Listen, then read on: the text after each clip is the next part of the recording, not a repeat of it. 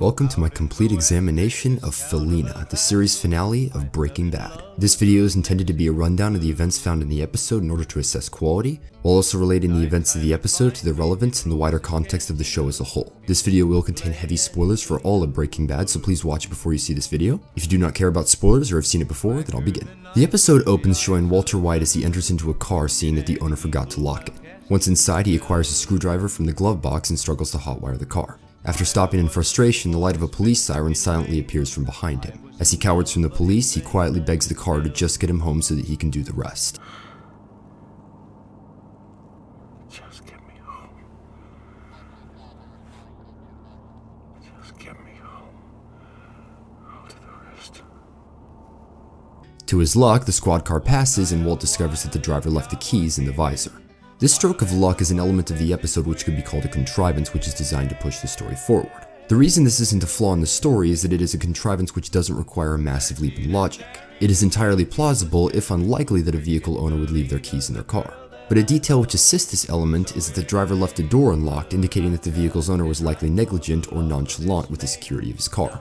Walt starts the car and punches off the snow which served as a shield from the police off of his window. As Walt clears his windshield of snow to set off, the iconic opening titles and main theme play for a final time. We then cut to a gas station in the desert. As was shown in the premiere of the season, Walt is driven from New Hampshire back to Albuquerque. After refueling his car and coughing down some of his few remaining medications, Walt makes a call at the gas station's payphone. Acting as a journalist from the New York Times, Walt manages to get the new address of Elliot and Gretchen. It's, it's, it's their call. I know how busy Mr. and Mrs. Schwartz are. Should make one hell of a story. Goodbye. After finishing his call, Walt removes the TAG Heuer Jesse gave him for his 51st birthday and places it on top of the payphone before he departs. The reason that he did this narratively is somewhat unclear. As was shown in the previous shot, just like his finger which has grown too thin to hold his wedding ring, Walt's wrist is exceedingly thin for his watch. In spite of this, the watch has an adjustable band and could have been tightened. It could mean that Walt is leaving behind one of the last remaining memories he has of Jesse, but this doesn't explain why he has kept it for all this time while he was in New Hampshire. Narratively, this moment is somewhat jarring and likely meant to create an emotionally striking shot. On a production standpoint, this is actually done as a means to avoid a potential continuity error. Walt wasn't wearing the TAG Heuer in the series premiere, but unlike his glasses, hair, and clothes, there wasn't a narrative reason for Walt not to be wearing his watch. It wasn't damaged in previous seasons and he never lost it. Thus, Vince Gilligan had Walt leave it on the payphone. It's a little detail which shows the immense care the filmmakers took to ensuring that even the most minuscule of details regarding continuity on the show were kept consistent, albeit leaving this moment somewhat confusing narratively speaking. We then see Elliot and Gretchen returning home where they neglect to see Walt lurking in the shadows near their porch. After they disable the alarm, Walt ominously walks to the doors and closes them. He then casually walks in and begins admiring the house and pictures on the table. When Gretchen and Elliot eventually become aware that Walt is in their house, they ask why he is there. He claims that he isn't there to hurt them and is instead there to give them something, explaining that said item is in his car and that he couldn't get it past their gate. Hello, Gretchen. Elliot. I really like your new house. What, what, what are you doing here? I saw you on Charlie Rose. You look great. You both did. If you are here to, to hurt us, Actually, I'm here to give you something. It's out in my car. How about the three of us take a walk to it? It's just parked down the road. I couldn't get it past your gate. Based on what the audience knows, this very well could be the M60 machine gun which was shown in the premiere. After Elliot threatens Walt with a knife, Walt's crowd pleasing one liner implies that this is exactly what is in his car. Elliot, if we're gonna go that way, you'll need a bigger knife. The episode cuts revealing Walt, Elliot, and Gretchen stacking Walt's money on a table in the living room. He then instructs them to give the money to Walter Jr. in the form of a trust on his 18th birthday, claiming that since Elliot and Gretchen are wealthy benefactors, their donation to the White family will be seen as a charitable act rather than a suspicious one. Walt, I don't think. On my son's 18th birthday, which is 10 months and two days from today, you will give him this money in the form of an irrevocable trust. You will tell him that it is his to do with as he sees fit, but with the hope that he uses it for his college education and for the betterment of his family. But to ensure that they follow through with his orders, Walt reveals that there are in fact two hitmen whom Walt has paid to watch Elliot and Gretchen to ensure that they do what he wants. If, for any reason that my children do not get this money, a kind of countdown will begin. When you're going for a walk in Santa Fe or Manhattan or Prague, wherever, you'll hear the scrape of a footstep behind you. But before you can even turn around, darkness. Yeah, bitch! This scene serves as an excellent example of writer-director Vince Gilligan writing the characters of the show with consistency whilst also subverting the expectations of the audience. The previous episode, Granite State, had shown Walt at possibly his lowest point on the show, having failed to convince Walter Jr. to take his money and realizing that all of his lies, all of his hard work, and all of the people who died as a result of his actions may all be for nothing. Hey Y- yes. It's so good to hear your voice. Your mother and your sister. There's, there's money inside. It has to be a secret. If anyone says a word, the police will take it. I wanted to give you so much more. You want to send money. I don't want anything from you. I don't give a shit. You need this money, killed mother. Uncle Hank. You killed him. Needs this No, money. It can't all What- be for what nothing. you did? Just shut up. Shut up. He reaches such a low point that he decides to give up his efforts to evade the authorities and calls the DEA, referring to himself by name. DEA, Albuquerque District Office. How may I direct your call? I'd like to speak to the agent in charge of the Walter White investigation. Who may I say is calling? Walter White? Seeing Elliot and Gretchen on TV is what gave him confidence and a drive to keep going. However, the implication based on the interview and Walt's reaction was that Walt wanted to kill them because of their misrepresentation of him. Walt had shown strong resentment to Gray Matter as well as Elliot and Gretchen over the course of the show. So you run the company with Elliot? Oh, no, no, that's that's Gretchen and, and Elliot. Yeah, yeah. yeah I, I gravitated toward education. Ah, what university? Jesse, have you heard of a company called Gray Matter? Well, I co founded it in grad school with a couple of friends of mine. Actually, I was the one who named it. For personal reasons, I decided to leave the company. And I sold my share to my two partners for $5,000. Now, at the time, that was a lot of money for me. Care to guess what that company is worth now? Millions? Billions, with a B. What would your presumption about me be exactly? That I should go begging for your charity? And you waving your checkbook around like some magic wand is going to make me forget how you and Elliot, how you and Elliot cut me out. These expectations, however, were subverted, instead showing that Walt had an idea to overcome the fact that Walter Jr. and Skyler won't accept his money. Walt remains consistent in his attempts to take care of his family while also making it clear that he doesn't want Elliot or Gretchen to pitch in financially in order to form Walter Jr.'s trust. And you are not to spend a single dime of your own money. If there are taxes or lawyers' fees owed, you will take it right from here.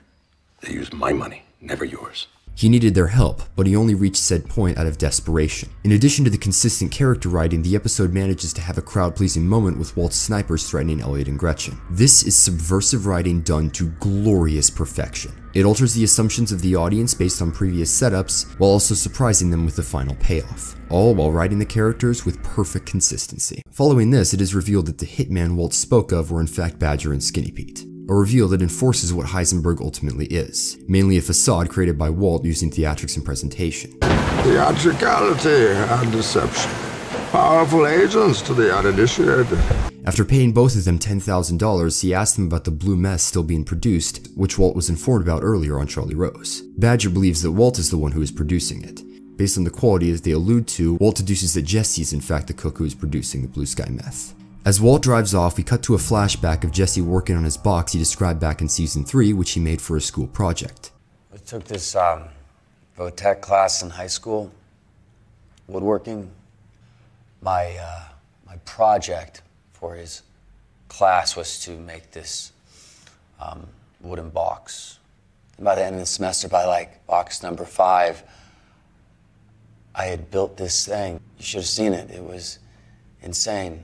I, I built it out of Peruvian walnut with inlaid zebra wood. It was fitted with pegs, no screws. I sanded it for days until it was smooth as glass. Then I rubbed all the wood with tung oil so it was rich and dark.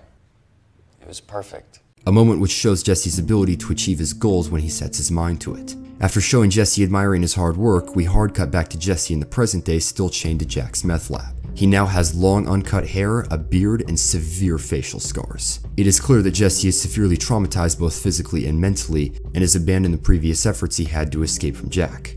Following this, we see a recap of the teasers at the beginning and midpoint of the season. Walt eating breakfast for his birthday, acquiring his M60 machine gun, and taking the ricin capsule from his condemned house.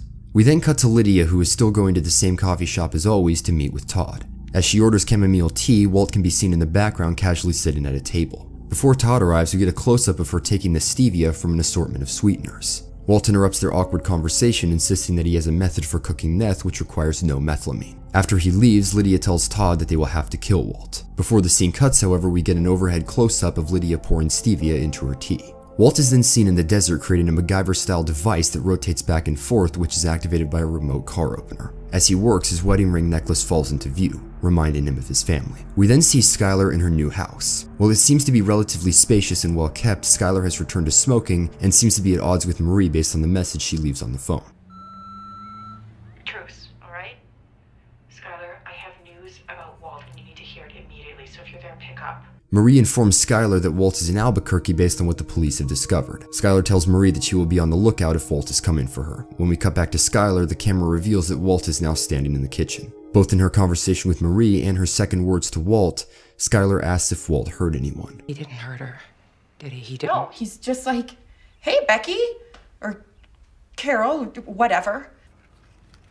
You didn't kill anybody sneaking in her, did you? You didn't hurt anybody. No. Didn't have to. Walt has gone from being a figure of greed in Skyler's mind to someone who is violent and unpredictable. She is scared of him. He tells Skyler that he came to give her a proper goodbye, claiming that the people who threatened her earlier will never come back to hurt Skyler or her family. He then offers her the lottery ticket containing the coordinates to the bodies of Hank and Steve, telling her that she can trade it for a deal with the prosecutor to get herself out of her situation. Walt then says, Skyler, all the things that I did, you need to understand. I have to hear one more time that you did this for the family. I did it for me. I liked it. I was good at it. And I was I was alive. Yeah, bitch! Oh! This is a payoff for one of the show's long lasting conflicts. Throughout the entire show, Walt had been in constant denial about why he was doing the things he did, constantly telling himself it was to pay for his son's education and to give Skyler enough money to support the family after his death. Ten years. That's two hundred forty thousand dollars plus three sixty plus one three seven. Seven thirty-seven. Seven hundred and thirty-seven thousand dollars. That's what I need. That is what I need. How much is enough? How big does this pile have to be? I have made a series of very bad decisions, and I cannot make another one. Why did you make these decisions? For the good of my family. The things that they're saying about me, I, I did wrong. I, I made some terrible mistakes. But the reasons were always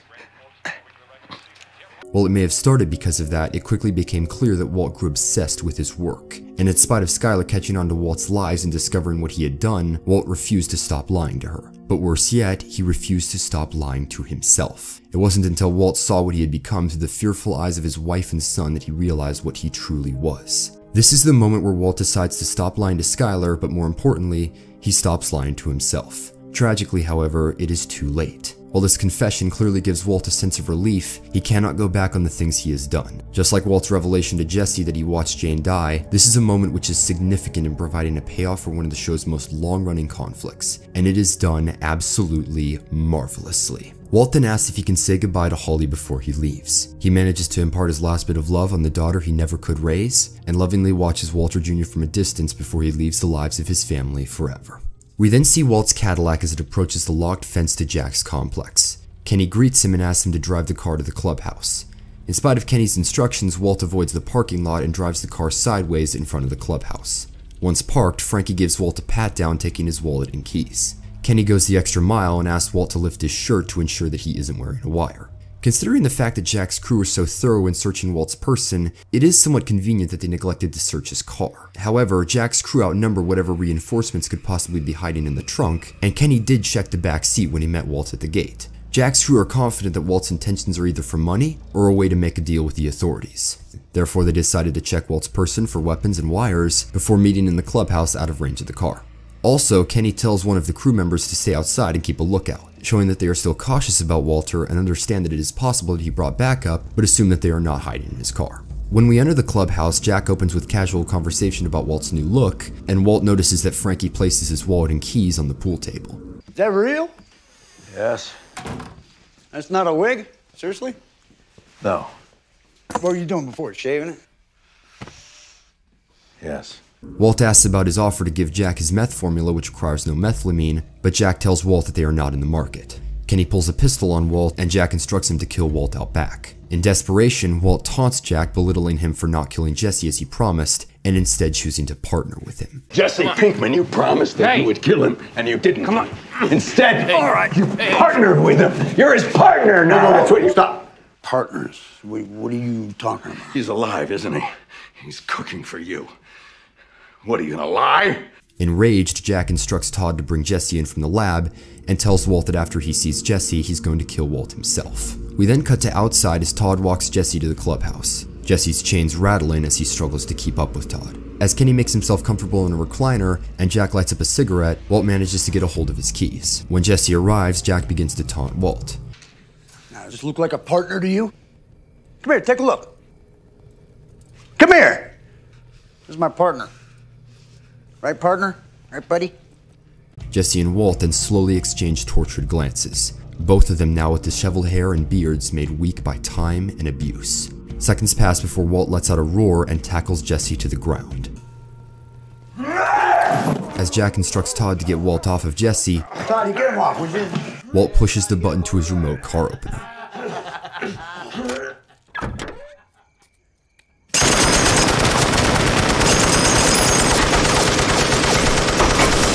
As Todd, Walt, and Jesse cower on the floor, Walt reacts as one stray bullet manages to strike him. The gunfire continues to destroy the entire clubhouse with blood and debris everywhere before the belt runs dry, leaving the rotator to move the empty machine gun back and forth. Yes! Hell yeah! Hey, come on, baby! Come on! Yes! Come on! Ah! Yes! Yes! When we cut to the inside of the clubhouse, Kenny's recliner is still moving his lifeless body up and down as the sound of dripping blood is heard.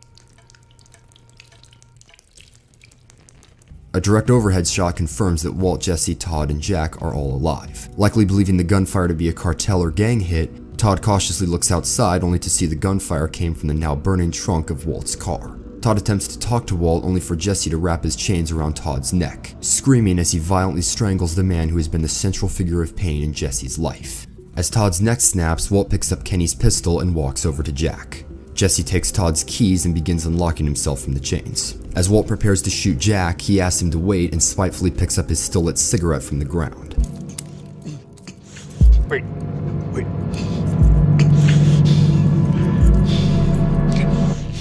Tells Walt that he knows where the rest of Walt's money is and that if he kills him, he'll never find it. You want your money, right?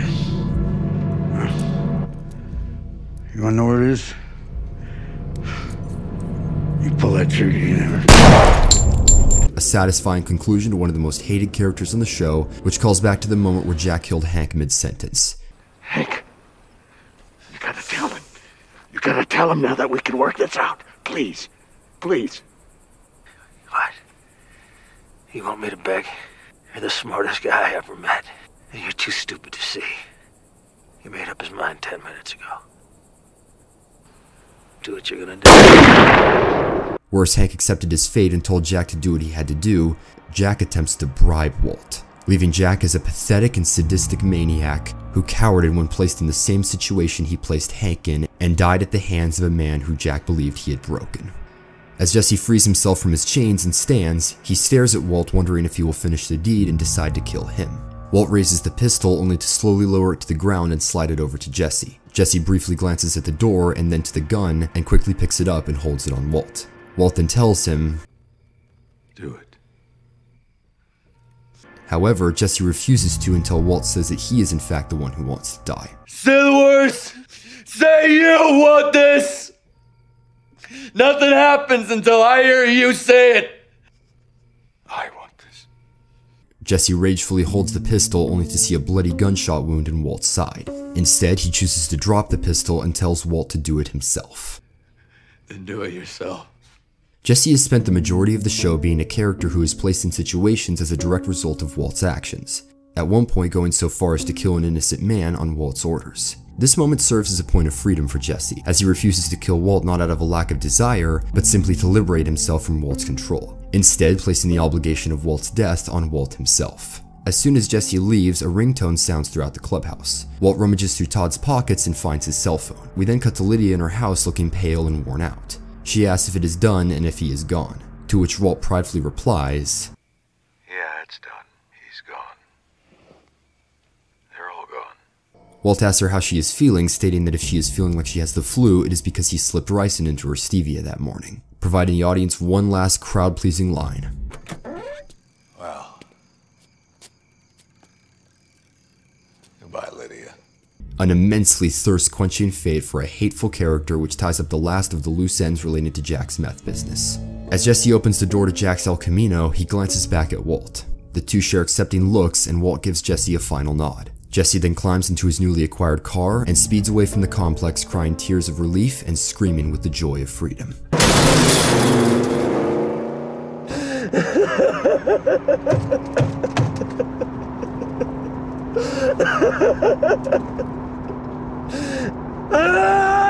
After he leaves, Walt begins feeling the pain from his gunshot wound and walks away from the clubhouse into Jack's meth lab. He taps on a pressure gauge and admires the equipment found in the lab. While walking through the lab, the distant sound of sirens grows closer.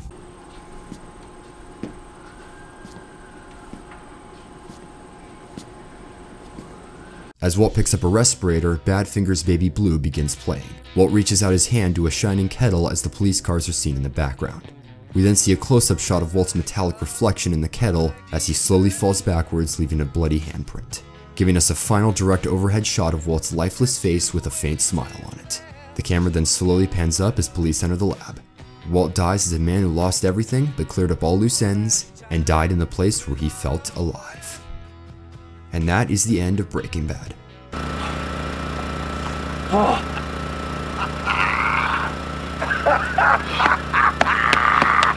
Yeah, thanks! Oh! Oh my! What an astonishing and unparalleled achievement. While it may not be the best episode of the show, it is nonetheless an excellent and immensely satisfying episode. Ozymandias and Granite State were the episodes which brought Walter White to his absolute lowest point.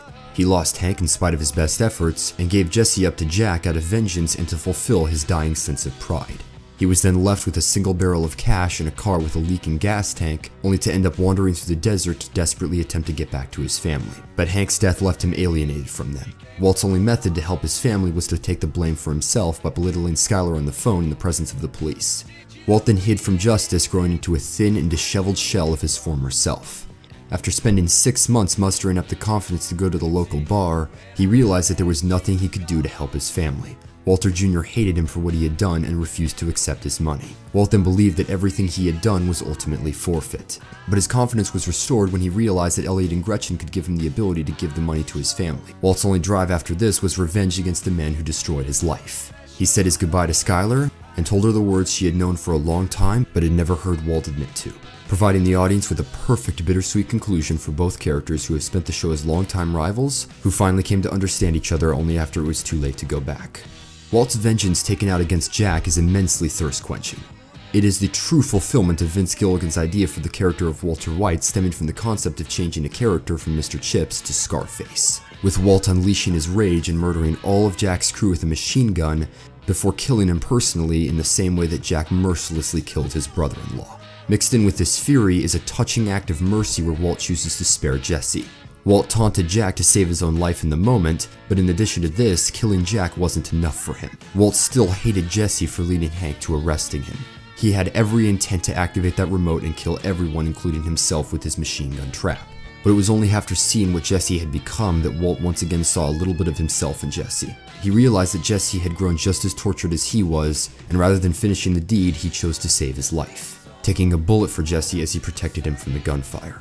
Jesse also manages to claim his own revenge against the man who murdered the woman he cared about and sadistically forced him to be Jack's meth cooking slave. Following this, he separates himself from Walt's manipulation by refusing to kill Walt, resulting in both men being able to share accepting glances as both of them depart on understanding terms.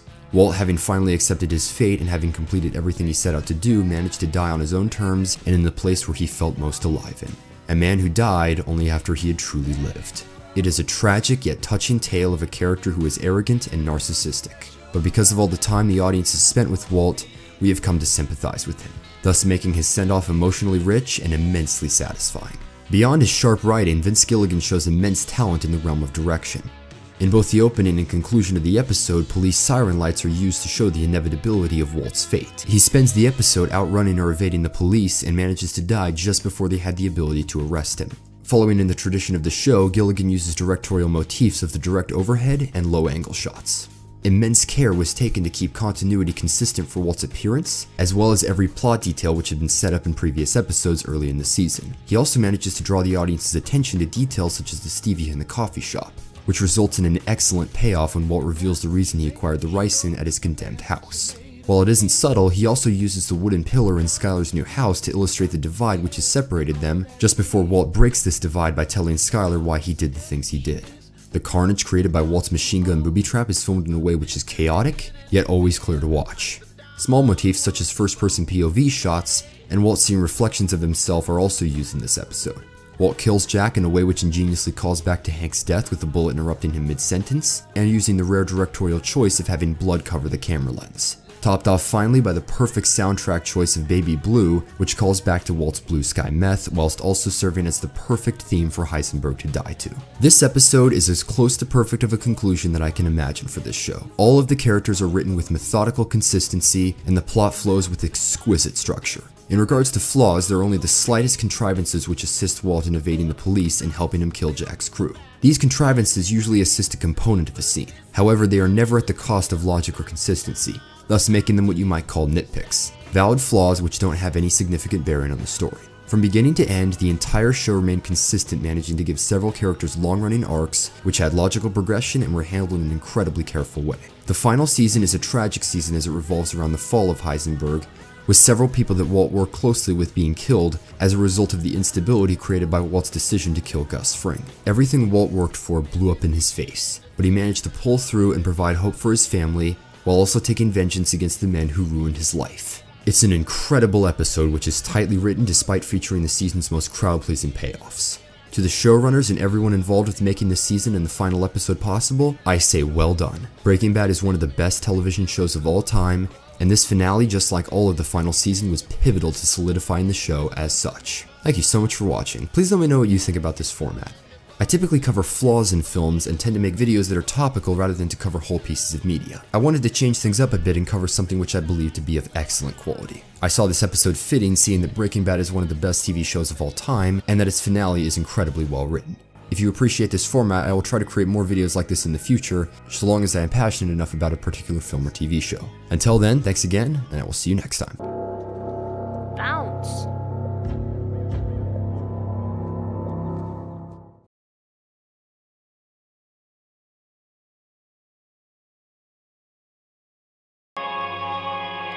El Camino, do not screw this up.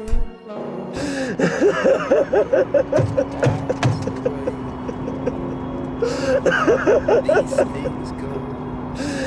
Ah!